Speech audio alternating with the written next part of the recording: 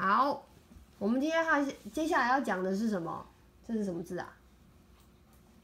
一口好牙，叮叮，你看它牙齿闪亮亮哎，它为什么会有一口好牙呢？我们来看一看，要怎么样可以有一口好牙？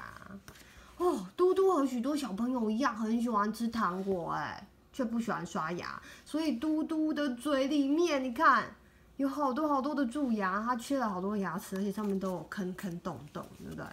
今天吃点心的时候，嘟嘟才吃了一口冰淇淋，牙齿就痛了起来，好痛哦！糟糕，不能吃好吃的冰淇淋了，怎么办？嘟嘟一边捧着脸，一边看着冰淇淋一点一点的融化，难过的哭了，好伤心哦，怎么办？怎么都拔不掉？对啊，妈妈连忙跑过来安慰嘟嘟说。妈妈带你去看牙医叔叔，等牙齿不痛了，妈妈再给你买冰淇淋，好不好？嗯，嘟嘟点点头，然后我们就去看牙齿了。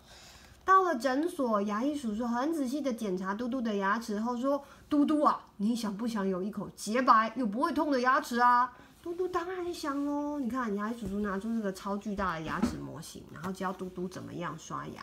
他说：“首先，每天至少要刷牙两次哦。”要刷两次牙，一次是早上起床后，一次是晚上睡觉前。那你如果下午要睡午觉，其实应该也要刷牙，所以三次。而且要有正确的刷牙方式，你在干嘛？才能把牙齿真正的刷干净。牙医叔叔先教嘟嘟刷门门牙，门牙的外面是上下刷，要上上下下，上上下下，上上下下下。对啊，上上下下，接着要刷门牙里面哦。你看这些是臼齿、犬齿，因为里面不好刷，所以很容易藏细菌，一定要刷干净。里面也要认真的刷。刷完了门牙，再来刷后排的臼齿，一共有三面，这是一、二、三，每一面都要刷哦。就只可以上下左右刷，其实应该都要画圆的方式刷。还有还有，每次吃完甜的食物后，可以喝杯白开水或漱漱口，让甜食不会残留在牙齿上。所以妈咪每次在你吃完饭都会给你一杯水，对不对？